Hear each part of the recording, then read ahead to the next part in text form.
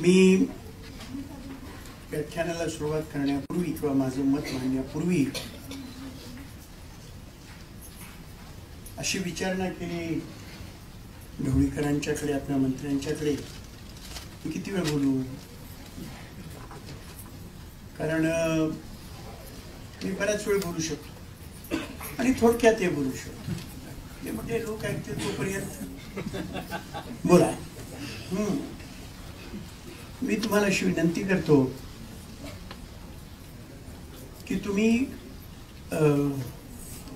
किमान पंचेचाळीस मिनिटं मला सहन करा. मी कोल्हापूरहून आलो. डॉक्टर बाबासाहेब आंबेडकर यांच्याबद्दल काही गोष्टी तुमच्याशी बोलाव्यात काही हेतून आलो. म्हणून मी ही परवानगी आपल्याकडे मागितली. पहिली गोष्ट अशी आहे की माझा इतक्या वर्षाचा अनुभव म्हणून सांगतो आपल्या सर्व लोकांना सर्व भारतीयांना त्याच्यामध्ये गोव्याचे लोकही अपवाद नसावेत असा माझा समज आहे. आपल्याला महामानवांच्या प्रतिमा माहीत असतात. महामानवांचे पुतळे आपण उभे करतो. महामानवांच्या जयंती किंवा महापरिनिर्वाणाचे दिवस हे आपण साजरे करतो. ते बरोबरच आहे ते चांगलं त्यात गैर काही नाही. पण त्या तुलनेनं त्यांचे विचार आपल्याला माहीत नसतात. आपल्याला जय जयकार करायची सवय जरा जास्त आहे. म्हणजे कोणी पुढे म्हणाला अमक्या अमक्या की की आपण मागे जय म्हणायचं आणि हे जय जयकार करण्याच्या गडबडीमध्ये त्यांचा नेमका विचार काय होता? याच्याकडे आपलं दुर्लक्ष होतं. बाबासाहेब आंबेडकर यांचं सर्वात मोठं काम कोणतं? त्याने आणि कामं केली. सर्वात मोठं काम कोणतं? त्यांनी भारतामधल्या मागासलेल्या आर्थिकदृष्ट्या सामाजिकदृष्ट्या राजकीयदृष्ट्या मागासलेले जे लोक होते त्यांच्या उत्थापनासाठी त्यांना पुढे आणण्यासाठी काही कार्य केलं. आणि त्या कार्यासाठी त्यांनी विचार केला. बाबासाहेब बॅरिस्टर व्हायला यायला गेले होते इंग्लंडला. तिथून परत येताना त्यांनी काय आणलं? एक प्रतीक म्हणून तुम्हाला सांगतो. आता जे कोणी परदेशी जातात ते परत येताना त्या त्या देशामधली एखादी चांगली वस्तू तुलनात्मकरित्या स्वस्त मिळणारी वस्तू तिकडनं घेऊन येतात. हा क्रम बाबासाहेबांच्या काळामध्ये सुद्धा होता ना असं नाही. पण बाबासाहेबांनी काय आणलं तिकडनं? दहा बारा ट्रंक्स मोठ्या पेट्या भरून त्यांनी पुस्तकं आणली.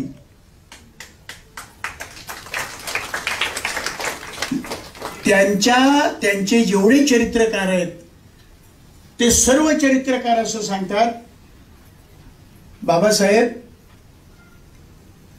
दिवसाच्या चोवीस तासापैकी चौदा चौदा पंधरा पंधरा तास अभ्यास करत असत वाचत असत. ही फार मोठी गोष्ट आहे. महामानवांचे विचार किंवा महामानवांचा उत्सव साजरा करताना आपण त्यांच्यापासून काय घ्यावं काय शिकावं? मला असं वाटतं की त्यांच्यापासून हे शिकावं की अभ्यास करा ज्ञान घ्या. ज्ञानाला पर्याय नाही. मराठी वाईट इथे हिंदी भाषेमध्ये एक म्हण आहे. आपल्याला जमलं तर लक्षात ठेवा. अक्कल बडी की भैंस बडी? प्रश्न काय आहे? अक्कल बडी म्हणजे ज्ञान मोठा आहे का म्हैस मोठी आहे? खरं म्हणजे हा प्रश्न जरा विक्षिप्तपणे विचारलेला आहे मोठं खरी आहे. पण तरी सुद्धा त्याचा अर्थ काय आहे? ज्ञान मोठं आहे. जगातल्या सर्वात मोठ्या प्राण्यापेक्षा ज्ञान मोठं आहे. जगातल्या सर्वात मोठ्या प्राण्यांना काबूत ठेवण्याचं काम माणसानं केलेलं आहे. कशा जोरावर? ज्ञानाच्या जोरावर. ज्ञानाला पर्याय नाही. जगातील सर्वात प्रबळ सर्वात मोठं सर्वात मोठं जालिम असं हत्यार कोणतं? कोणी सांगेल अमकं रॉकेट तमकं रॉकेट किंवा बंदूक किंवा बॉम्ब हायड्रोजन बॉम्ब किंवा अमका बॉम्ब तमका बॉम्ब बाबासाहेबांच्या चरित्राचं सार जर समजावून घ्यायचं तर ज्ञान हे जगातील सर्वात भय सर्वात मोठं हत्यार आहे. ज्ञान हे सर्वात मोठं हत्यार आहे. तुम्ही कोणतंही हत्यार काढा. त्या हत्यार ज्ञानाच्या आधारे तयार झालेलं आहे. ते हत्यार तयार कोणी केलं? माणसानं केलं. कशाच्या जोरावर केलं? ज्ञानाच्या जोरावर केलं. ज्ञान ही सगळ्यात मोठी गोष्ट आहे. पण ज्ञान हे कोणतंही ज्ञान दुधारी असतं. दुधारी म्हणजे दोन धारा असलेलं. चांगलंही असतं आणि वाईटही असतं. अणुबॉम्ब तयार केला अणुची शक्ती निर्माण केली. त्या अणुच्या शक्तीच्या साह्यानं माणसंही मारता येतात आणि वीजही निर्माण करता येते. त्याच्यामध्ये अणुचा काही दोष आहे का? किंवा आपलं दैनंदिन जीवनातलं उदाहरण द्यायचं जर म्हटलं तर अग्नीच्या साह्यानं स्वयंपाकही करता येतो? आणि त्याच अग्नीच्या साह्यानं घरही जाळता येतात. याच्यामध्ये त्या अग्नीचा काही दोष आहे काय अग्नीचा काही संबंध नाही. त्या हत्याराचा संबंध ते हत्यार कोण वापरतं? आणि कशासाठी वापरतं? कोण वापरतं? आणि कशासाठी वापरतं? हे जास्त महत्वाचं आहे. डॉक्टर बाबासाहेब आंबेडकरांनी ज्ञानाचा वापर समाजामध्ये जागृती निर्माण करण्यासाठी त्याच्यासाठी म्हणून त्यांनी ज्ञानाचा वापर केला. जागृत करणं. बाबासाहेब आंबेडकरांची काही वाक्य आपण लक्षात ठेवली पाहिजे. मी त्या वाक्यांचा अर्थ जर आपण लक्षात घेतला तर आपल्या लक्षात येईल किती मोठं वाक्य आहे ते. बाबासाहेबांनी असं सांगितलं गुलामाला गुलामाची जाणीव करून द्या. गुलामाला गुलामाची जाणीव करून द्या. म्हणजे तो त्याच्या गुलामीच्या विरुद्ध बंड करून उठेल.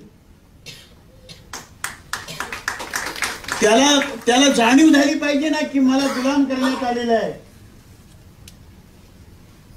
उदाहरण सांगतो. म्हणजे माझा मुद्दा अधिक स्पष्ट होईल? बाबासाहेबांचं म्हणणं मला अधिक स्पष्टपणानं तुमच्यासमोर सांगता येईल.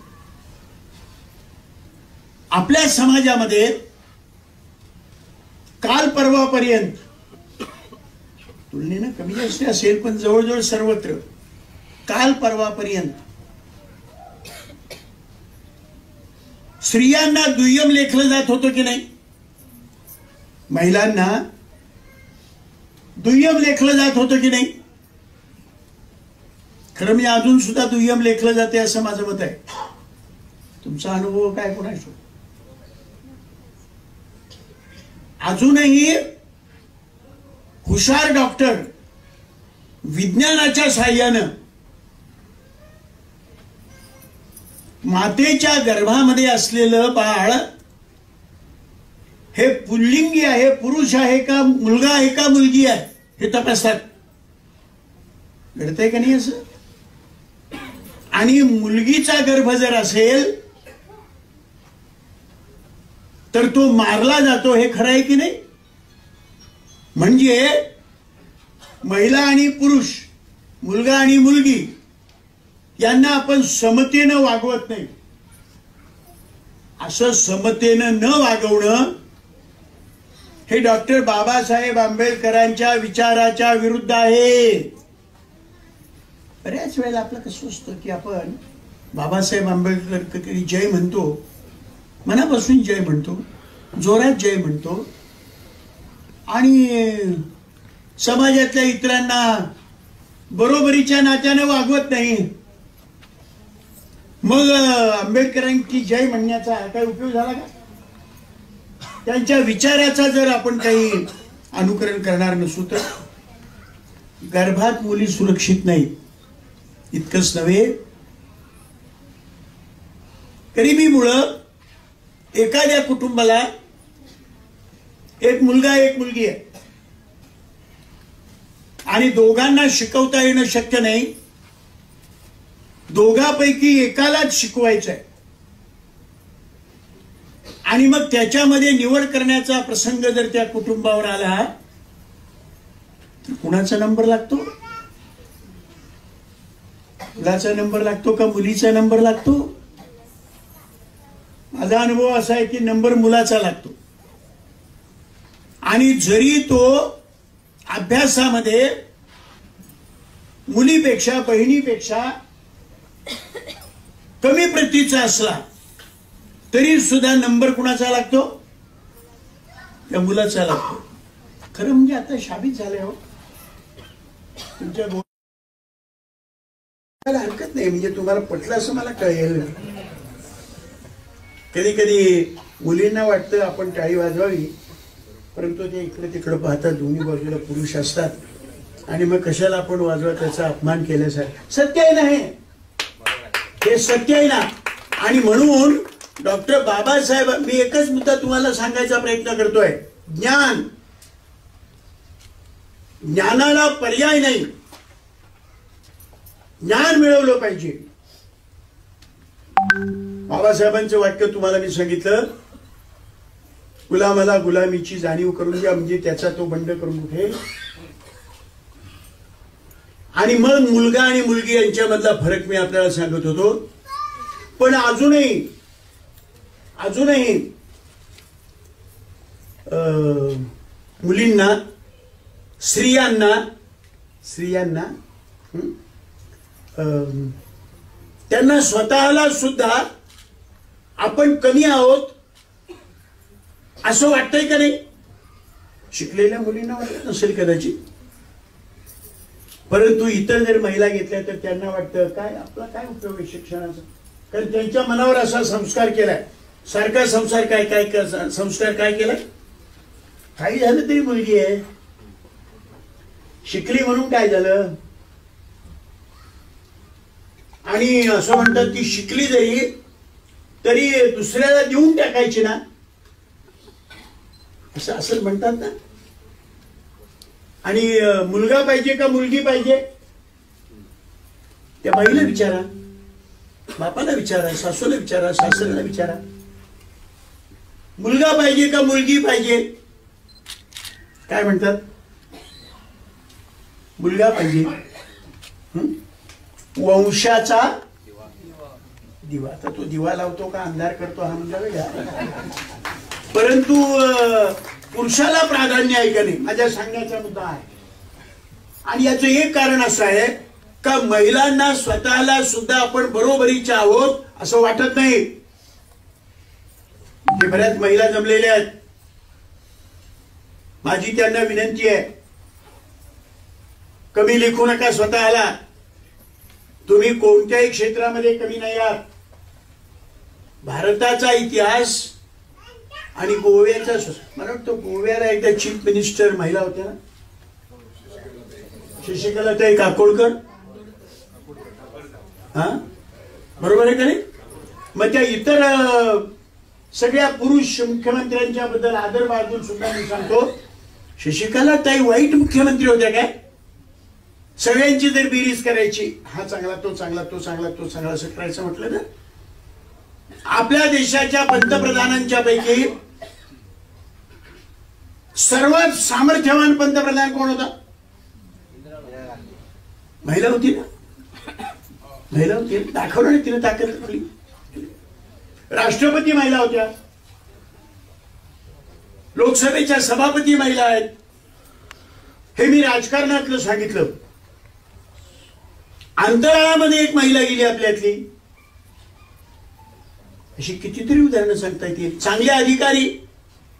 आजही ज्या एका महिला अधिकाऱ्याचा टीव्हीवर सारखा वावर असतो आमच्या अण्णा हजारेंच्या सहकारी त्या काय नाव लक्षात किरण बेदी.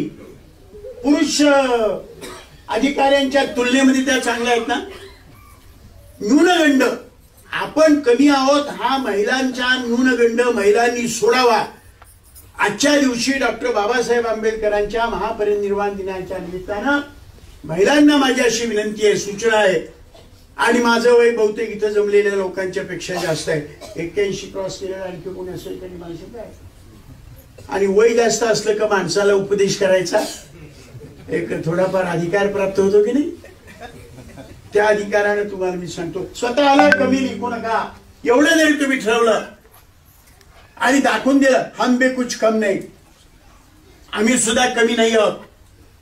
तर मला असं वाटतं की बाबासाहेब आंबेडकरांच्या महापरिनिर्वाण दिनाच्या निमित्तानं हा एक विचार आपण लक्षामध्ये घ्या दुसरी एक गोष्ट सांगतो प्रास्ताविकामध्ये या संघटनेच्या प्रमुखांनी आपल्याला सांगितलं बाबासाहेब आंबेडकरांचं वाक्य सांगितलं आणि ते बरोबर आहे. शिका संघटित व्हा आणि संघर्ष करा. हे जरा नीट समजावून घ्या बरं का. काही काही वेळेला काय होतं आपल्याला शब्द माहीत असतात. पण त्या शब्दांचा नीट अर्थ माहीत असतो असं नाही. त्या अर्थाचा काय परिणाम होतो तेही आपल्याला माहीत नाही. अगोदरचा जो मुद्दा तुम्हाला मी सांगतो महिला आणि पुरुषांच्या बरोबरीचा त्याच्यामध्ये हिंदू धर्मशास्त्राप्रमाणे मुलीच्या लग्नामध्ये किंवा कुणाच्याही लग्नामध्ये महत्त्वाचा विधी काय असतो? एक महत्त्वाचा विधी असतो. कोणता विधी असतो? कन्यादान मी काय म्हणतो लक्ष. कन्या दान. दान म्हणजे काय? दान म्हणजे देऊन टाकायचं. असंच काही अर्पण करणे. अहो, कन्या हे काय टेबल आहे काय? टेबल दान केलं. ठीक आहे. मोटार दान केली. मोटारसायकल दान केली. कन्या ही काय दान द्यायची वस्तू आहे का? ती एक जिवंत वस्तू आहे ना. तिला स्वतःला काय तिचं मन बी आहे का नाही? माझ्या मते पाहण्याचा हा दृष्टिकोन बाबासाहेबांनी बदलला. शिका संघटित व्हा आणि संघर्ष करा. म्हणजे काय करा? शिका शिक्षण घ्या. शिक्षण घ्या म्हणजे शाळा कॉलेज प्राथमिक शाळा हे शिक्षण घ्याच.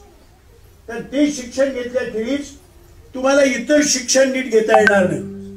इतर शिकता येणार नाही. पण बाबासाहेब जेव्हा म्हणाले शिका याचा अर्थ फक्त शाळेतच जे शिकवलं जातं तेच शिका काय? जे कॉलेजमध्ये शिकवलं जातं तेच शिका काय? शाळा कॉलेजमध्ये व्यासपीठावर ज्ञानी मंडळी बसलेली आहेत. पण काय शिकवावं काय शिकवावं? हे तुमचे शिक्षक ठरवतात काय?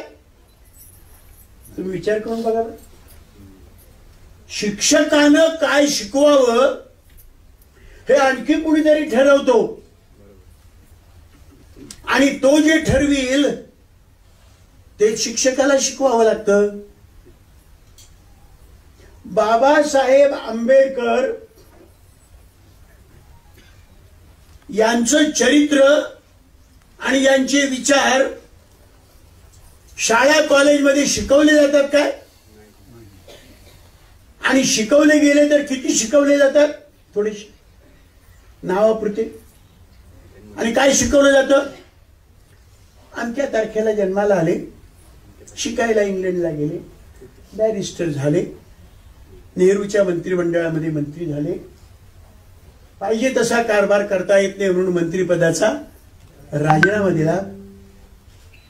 वयाच्या शेवटी शेवटी त्यांनी हिंदू धर्म शिकवला बुद्ध झाले आणि एकोणीसशे छप्पन साली वाढ एवढंच शिकवलं जातं की नाही?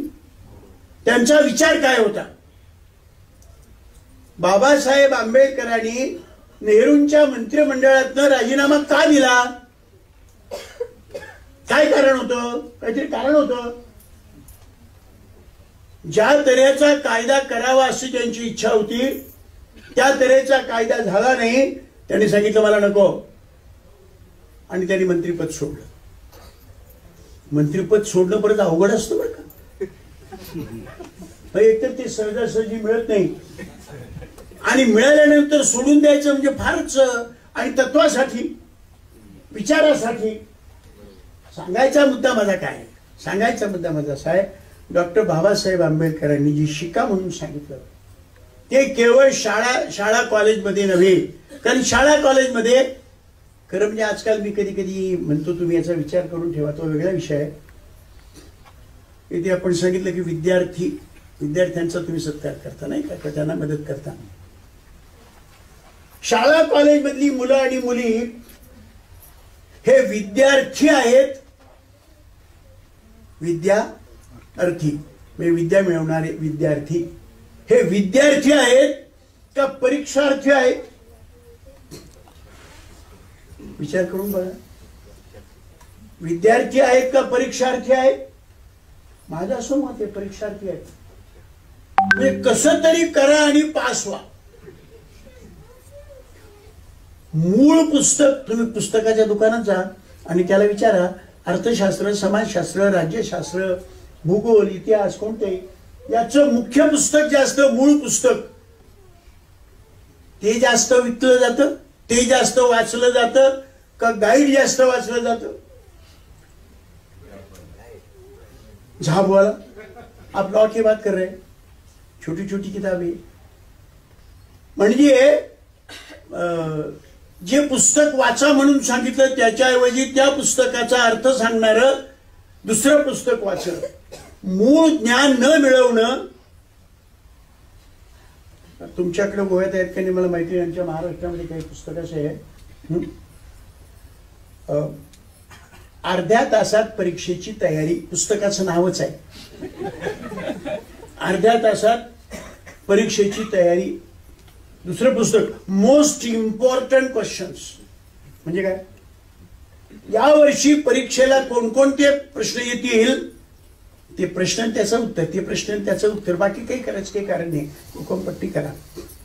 माझा सांगण्याचा मुद्दा एकच आहे बाबासाहेब आंबेडकर जेव्हा म्हणाले शिका शिका म्हणजे केवळ शाळेतलं शिक्षण घेऊ नका त्या शिक्षणाला मर्यादा आहे हे जग बघा. जगात काय चाललंय ते बघा. भारतात काय चाललंय ते बघा. देशात काय चाललंय आपल्या गावात काय चाललंय आपल्या राज्यात काय चाललंय ते बघा. या सगळ्याचं ज्ञान घ्या. म्हणजे शिका. मध्येच सांगतो मी बरीचशी पुस्तकं लिहितो. पण मी लेखक नाही. कशी गंमत वाटते तुम्हाला? हे काहीतरी विचित्र सांगतो ह्या ग्रस्तासोबत तुम्हाला वाटतं काय? मी पुस्तकं लिहितो परंतु मी लेखक नाही. म्हणजे काय? म्हणजे असं मी कार्यकर्ता आहे. आणि कार्य करण्यासाठी पुस्तक लिहावं लागतं. कार्य करण्यासाठी ज्ञान मिळवावं लागतं. जो ज्ञान न मिळवता कार्य करेल त्याचं कार्य यशस्वी होणार नाही. म्हणून आपल्याला सगळ्या जगाचं ज्ञान मिळवलं पाहिजे. मी लिहिलेली पुस्तकं छोटी छोटी ही इथे विक्रीला बाहेर आणलेली आहेत. मी आपल्या सगळ्यांना विनंती करणारे जाताना ती पुस्तकं बघा. आणि त्यातलं तुम्हाला आवडेल तेवढे विकत घ्या. पैसे कमी असले तरी विकत घ्या. आजच्या दिवस समजा एक दिवस जेवणाला फाटा दिला तरी चालेल घ्या. काय बिघडत नाही. फाटा देणं म्हणजे जेवण न करणे. मग पोट भरण्यासाठी आपण जेवढा खर्च आणि वेळ देतो त्याच्या तुलनेमध्ये डोक्यामध्ये ज्ञान भरण्यासाठी आपण खर्च करतो काय? याचा विचार करा. मनुष्याने जनावर यात फरक काय आहे? पोट हा फरक आहे काय?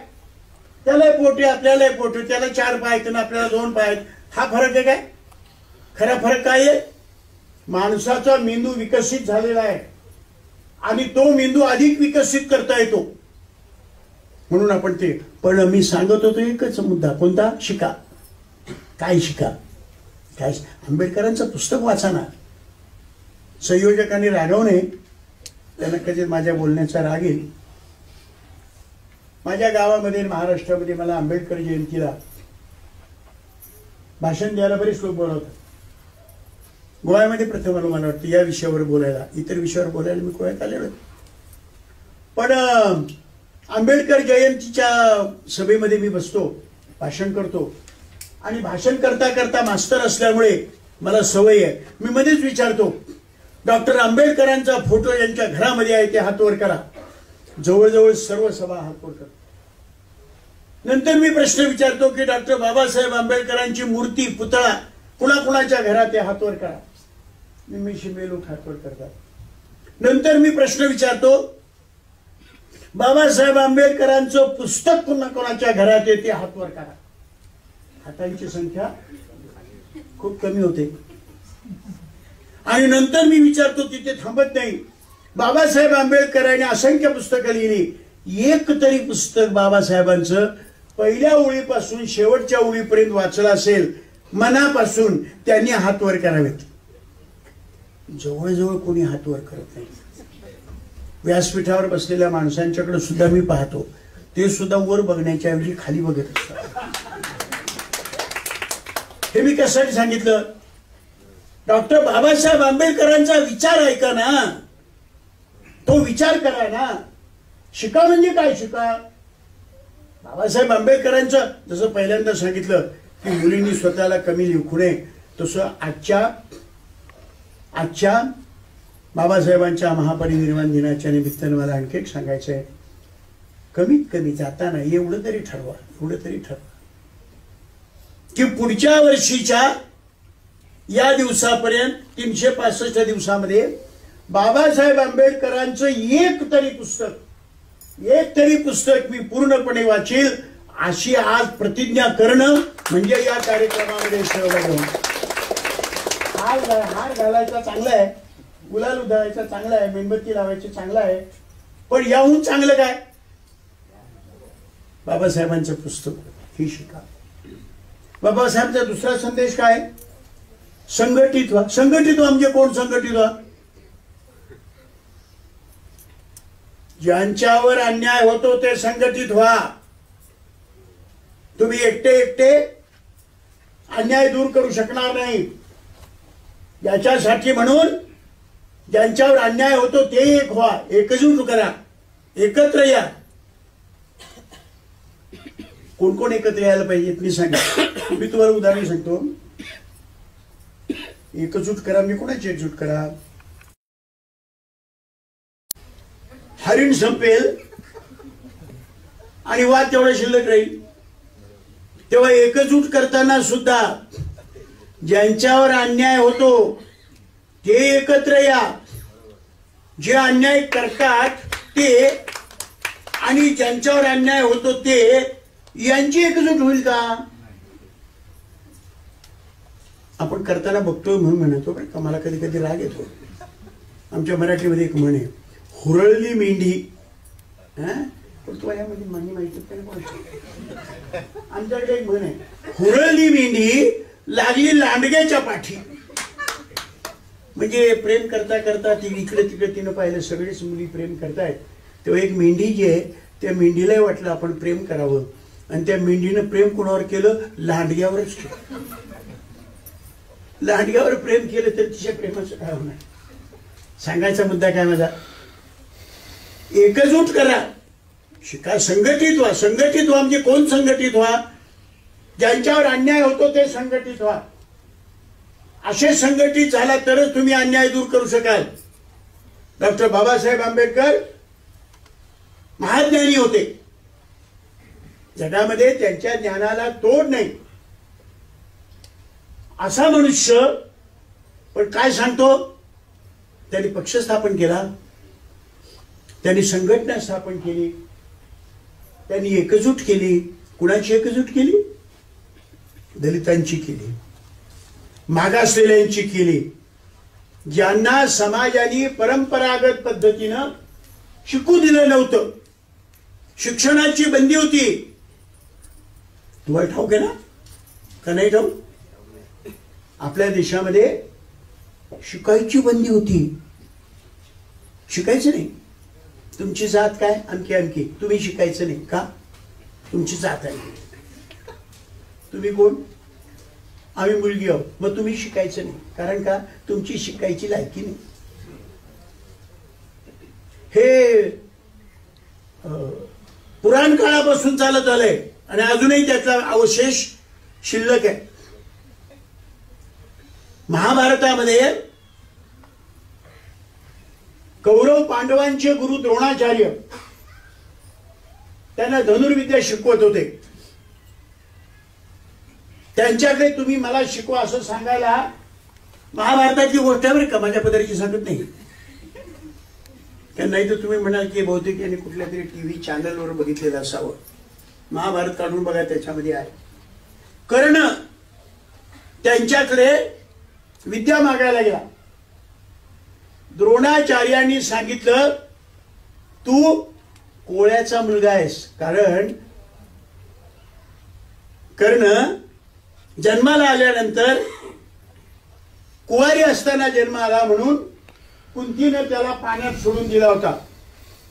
आणि पुढे राधेनं एका कोळ्याच्या कुटुंबाने त्याला सांभाळला आणि तो मोठा झाला. आणि त्याची ओळख हा कोळ्याचा मुलगा अशीच होती. द्रोणाचार्याने सांगितलं की तू ज्या जाती जन्माला आलेला आहेस त्याच्यामध्ये शिकव शिकवता येत नाही मी तुला शिकवणार नाही. पुढे त्याला राजा झाला अमकं झालं तमकं झालं ती गोष्ट मुद्दा काय मला सांगायचा आहे? महाभारतामधली ही कथा काय सांगते? त्या काळामध्ये क्षुद्रांना मागासलेल्यांना हरिजनांना ही नावं सुद्धा जरा नीट लक्षात ठेवली पाहिजे का. म्हणजे कसं एक काळ असा होता की महार मांगांना महार मांग असंच म्हणायची. जे आहे ते म्हणायचं. अशी पद्धत होती. महार मांग. त्याच्यानंतर महात्मा गांधींना वाटलं की हे नाव चांगलं नाही. म्हणून त्यांनी त्याला नाव दिलं. हा? हरिजन. बरोबर आहे? तुम्हाला एक माहिती आहे काय? बाबासाहेब आंबेडकरांना हरिजन हा शब्द आवडत नव्हता. त्यांना हरिजन हा हरिजन म्हणजे देवाचे पुत्र देवाची माणसं. बाबासाहेब आंबेडकर असं म्हणाले आम्ही जर हरिजन आहोत तर बाकीचे कोण आहेत? म्हणजे आम- हरिजनामध्ये एक दया करण्याचा कीव करण्याचा वास आहे. आमच्यावर दया नका करू. आमच्यावर दया नका करू हरिजन. त्याच्यानंतर मग त्याला अलीकडे काय म्हणतात? दलित. मतलब तोच आहे. अलीकडे त्याच्या पलीकडे आता काय म्हणायला लागले? या सरकारच्या सवलतीमुळे BC BC OBC N T VJTI बऱ्याच वेळेला तो जो व्हीजीटीआय असतो की नाही त्याला जर विचारलं व्हीजीटीआय म्हणजे काय? तर तो म्हणतो व्हीजीटीआय म्हणजे काय? मला माहिती नाही. पण मी व्हीजीटीआय आहे. काय गंमत. शिकायचं म्हणजे काय शिकायचं? जग बघायचं जग शिकायचं जगाचा अनुभव घ्यायचा. आणि संघटित व्हायचं म्हणजे गुलाम आणि गुलामांचे मालक गुलाम आणि गुलामांचे मालक यांची एक संघटना होईल काय? यांची एकजूट होईल काय? माझे सहकारी ख्रिस्तोफर फॉन्सेका पुढे बसलेले आहेत. ते कुणाची युनियन करतात? कुणाचं संघटन करतात? कामगार आणि मालक यांचं संघटन एक का नाही करते? हसायला लागलं तुम्ही? असं कसं काय होईल? कामगारांची संघटना म्हणजे कामगारांची संघटना असली पाहिजे. कामगारांची मालकांची एक संघटना कशी काय होईल? कामगार मालक संयुक्त संघटना. असं होईल काय कुठं? बाबासाहेब आंबेडकरांच्या महापरिनिर्वाण दिनाच्या निमित्तानं तुम्ही एक संदेश घ्यावा ज्यांच्यावर अन्याय होतो त्यांनी एकत्र यावं. ज्यांना गुलाम म्हणून वागवलं जातं त्यांनी एकत्र यावं. म्हणजे मग त्यांच्या गुलामीच्या विरुद्ध ते बंड करून ठेवतील. तिसरा शब्द सांगतो आणि थांबतो. परत बोलता येईल. तास दोन तास बोलता येतं मला त्याची काय अडचण नाही तिसरा शब्द काय? शिका. संघटित व्हा. आणि तिसरा शब्द संघर्ष करा. संघर्ष करा हा बाबासाहेबांच्या या तीन शब्दापैकी सर्वात महत्त्वाचा शब्द आहे असं माझं मत आहे. संघर्ष करा. संघर्ष केल्याखेरीज अन्याय दूर होणार नाही. संघर्षाला पर्याय नाही. जीवन म्हणजेच संघर्ष. संघर्षाखेरी जगामध्ये काहीही निर्माण होत नाही. कृती केली पाहिजे संघर्ष केला पाहिजे. आता काही मंडळी काय म्हणतात? असं भांडायचं भिंडायचं संघर्ष बिंघर्ष करायचा हा, घेराव घालायचा मोर्चा काढायचा असं काही करू नका. गुन्ह्या गोविंदानं हा वागावा. आणि हा उपदेश कुणाला करतात? मी सांगितलेली एक संघटना सांगितली की नाही? वाघणी शिळी. शेळ्यांनाच सांगताय. काय सांगताय? त्यांच्यावर अन्याय झाला त्यांनाच सांगताय. काय सांगताय? संघर्ष करू नका. समजू त्यानं घ्या. त्यानं खाऊ नये तुम्हाला. पण जर खाल्लं असेल तर एवढं रागवायचं काही कारण नाही. मी जरा मुद्दा समजावा म्हणून जरा गमतीनं सांगतो पण मुद्दा बरोबर आहे का नाही? संघर्ष. आणि तुम्हाला मी सांगतो तुम्ही जर ते टीव्ही मधलं जागृती चॅनल किंवा डिस्कवरी पाहत असाल तर असं दिसतं गायींचा कळप जेव्हा कळप एकत्र येतो तेव्हा ते वाघाला सुद्धा पळवून लावतात. खरी गोष्ट आहे का नाही? पळवून लावू शकतात की नाही? एकटा एकटा एकटा एकटा ज्याच्यावर अन्याय झाला तो एक एकटा मनुष्य हा दुर्बल असतो. पण दहा जण जेव्हा एकत्र येतात तेव्हा त्याला संघर्ष करण्याची एक शक्ती मिळते. म्हणून तुम्हाला मी सांगतो संघ संघर्ष करायला घाबरू नका. कसं होतं बघा? आपल्या देशामध्ये दोन हजार पाच ते दोन हजार दहा या पाच वर्षामध्ये पावणे तीन लाख शेतकऱ्यांनी आत्महत्या केल्या. गोळ्या झाल्या नाहीत ना. पण देशामध्ये पावणे तीन लाख शेतकऱ्यांनी आत्महत्या केल्या. का आत्महत्या केल्या? घेतलेलं कर्ज फेडू शकत नाही म्हणून ते आत्महत्या केल्या मग ज्याला आत्महत्या करायची पाळी याच्यावर आली ज्याच्या मुलाबाळांना खायला मिळत नाही ज्याची मुलं नीट घेऊ शकत नाहीत अशा बापाने दगड घेतला आणि मारला. आणि कुणाचं डोकं फुटलं तर शहाणे लोक काय सांगतायत? असं करायचं नाही. दगड मारायचा नाही. डोकं फोडायचं नाही. रक्त सांडायचं नाही. गुन्ह्या गोविंदाने घ्यायचं. संघर्ष करायचा नाही. समजुतीनं घ्या समजुतीनं घ्या.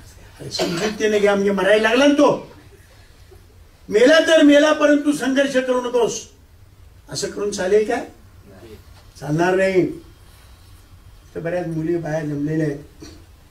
की बघा जगात मागून काही मिळत नाही. हे वाक्य जमलं ते लक्षात ठेवा. मागून काही मिळत नाही संघर्षाला पर्याय नाही. संघर्षाला पर्यायच नाही तुम्हाला मी सांगतो. म्हणून डॉक्टर बाबासाहेब आंबेडकरांनी आपल्याला सांगितलं शिका संघटित व्हा आणि संघर्ष संघर्ष त्या रेल्वेच्या कामगारासमोर भाषण करताना बाबासाहेबांनी दोन शत्रू सांगितले होते. कोणते दोन शत्रू सांगितले होते? ते म्हणाले एक भांडवलशाही बाबासाहेबांचे शब्द आहेत बरं का. कम्युनिस्टाचे नाहीत. बाबासाहेबांचे शब्द आहेत. बाबासाहेब म्हणाले आपले दोन शत्रू आहेत.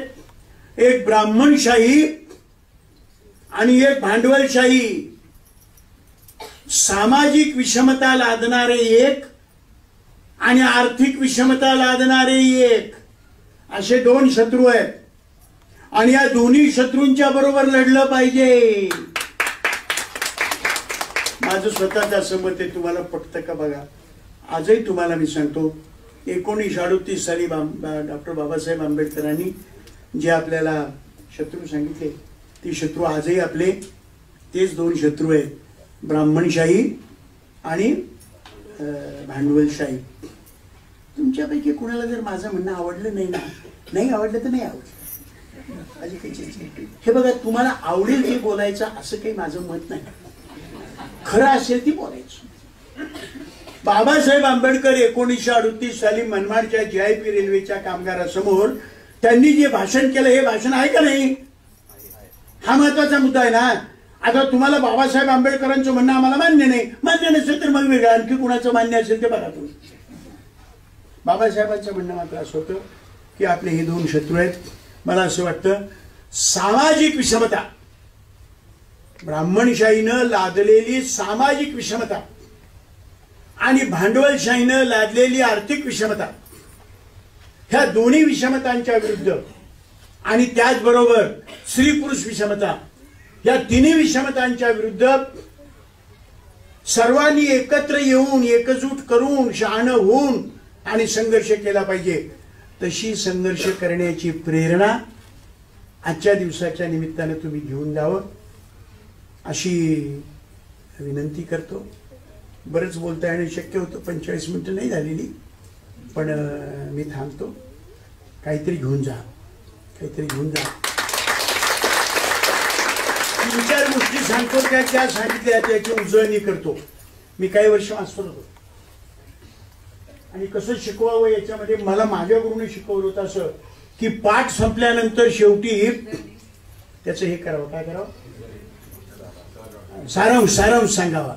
मग काय काय सांगितलं हे पुन्हा सांगावं. आणि मुलं वापर करावं. मी तुम्हाला पहिल्यांदा असं सांगितलं सर्वात श्रेष्ठ गोष्ट सर्वात मोठे हत्यार हे ज्ञान आहे लक्षात ठेवा. आणि नंतर मग मी तुम्हाला डॉक्टर बाबासाहेब आंबेडकरांचे तीन शब्द माझ्या मतानं समजावून सांगितले. शिका. म्हणजे काय शिका? संघटित व्हा म्हणजे कोण कोण संघटित व्हा? आणि संघर्ष करा म्हणजे काय करा? संघर्षाला पर्याय नाही मागून काही मिळत नाही. संघर्षाला पर्याय नाही तुम्हाला मी सांगितलं. आणि शेवटी एकोणीसशे अडतीस साली डॉक्टर बाबासाहेब आंबेडकरांनी जो आपल्याला शत्रू सांगितले जे दोन शत्रू सांगितले तेच आजही आहे असं माझं मत आहे. त्याचा सुद्धा तुम्ही विचार करावा. आणि जे सांगितलं हे बघा व्याख्यान देणं काम सोपं आहे बरं का? व्याख्यान देणं सोपं आहे. ते फारच सोपं आहे असं नाही कारण व्याख्यान देण्यासाठी आपल्याला वाचावं लागतं ना. आपल्याला अभ्यास करावा लागतो की नाही पण तुलनात्मक त्या व्याख्यान देणं सोपं आहे. कृती करणं अवघड आहे. कृती करणं अवघड आहे. शिकण्याची संघटित होण्याची आणि संघर्ष करण्याची कृती करणं आवश्यक आहे. मला कळलं नाही मी इथे आल्यानंतर मग तुमच्या अध्यक्षांना काय नाही विचारत होतो की तुम्ही करता काय? तर त्यांनी काय काय करतो ही माहिती सांगितली. पण मी म्हटलं मग तुमचे काय प्रश्न आहेत? ते म्हणजे बरेच प्रश्न आहेत. म्हणजे पहिला एक नंबरचा प्रश्न सांगा सगळ्यात मोठा प्रश्न सांगा. त्यांनी मला काय सांगितलं? त्यांनी मला सांगितलं की गोवा हे जेव्हा केंद्रशासित प्रदेश होता तेव्हा या केंद्रशासित प्रदेशामध्ये आमची संख्या दलितांची संख्या पंधरा टक्के होती. बरोबर नाही सांगता रिझर्वेशनसाठी. रिझर्वेशनच्या म्हणजे ज्यांना रिझर्वेशन द्यायला पाहिजे त्यांची संख्या पंधरा टक्के होती. बरोबर? आरक्षण पंधरा टक्के होतं. पण आरक्षण पंधरा टक्के होतं याचा अर्थ असा होतो बा की संख्या लोकसंख्येतलं तुमचं प्रमाण तेवढं जे पंधरा टक्के होतं ते पंधरा टक्के जाऊन आता दोन टक्क्यावर आलेलं आहे. मग पंधरा टक्क्याचं दोन टक्के काय झालं? काय झालं? काहीतरी कारण असेल. ते योग्य आहे का अयोग्य आहे? याचा अभ्यास केला पाहिजे. सरकारचे काय काय नियम होते ते तपासले पाहिजेत आणि त्याच्या विरुद्ध एकजुटीनं संघर्ष केला पाहिजे. अशा अनेक गोष्टी सांगता येईल पण तरीसुद्धा संयोजकांनी तुमच्यासमोर येऊन आणि बोलण्याची संधी मला प्राप्त करून दिली. याच्याबद्दल त्यांचे आणि तुम्ही माझं ऐकलं. तुम्ही जर नाही ऐकलं तर बोलण्याचा काय उपयोग म्हणू सांगा? म्हणून याच्याबद्दल तुमचे आभार मानतो. पण ऐकलं आणि सोडून दिलं ऐकलं सोडून दिलं असं करू नका. सगळेच कबूल करा असं मी म्हणत नाही. माझं एवढं पटेल तेवढं घ्या. पण या कानाने ऐकलं आणि या कानाने सोडून दिलं असं करू नका. आपण मी सांगितलेल्या गोष्टीचा विचार कराल आणि त्या विचार करण्याच्या गोष्टीवर काहीतरी कृती कराल अशी अपेक्षा बाळगतो. पुन्हा एकदा संयोजकांचे तुमचे मनापासून आभार मानतो आणि माझं भाषण करतो.